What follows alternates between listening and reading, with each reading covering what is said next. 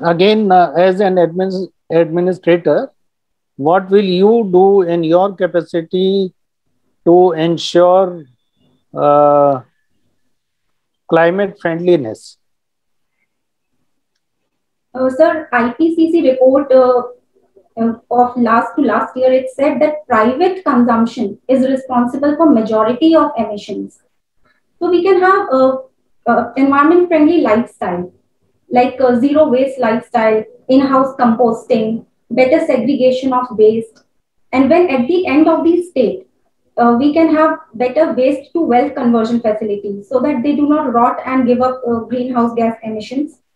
Solar uh, energy should be made the dominant form of energy, especially in the government buildings. And then later we can nudge people through incentives to adopt them. Uh, sir, uh, in areas of agriculture, agriculture practices like excessive uh, use of nitrogenous fertilizers, they can be contained by involving the Kisan uh, Vikas Kendra for people to understand what has to be done. And sir, uh,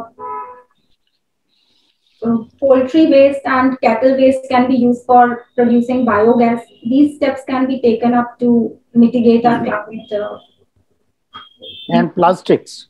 And plastic. Uh, yes. Renew, re reusable materials and uh, biodegradable materials should be used. Absolutely, absolutely.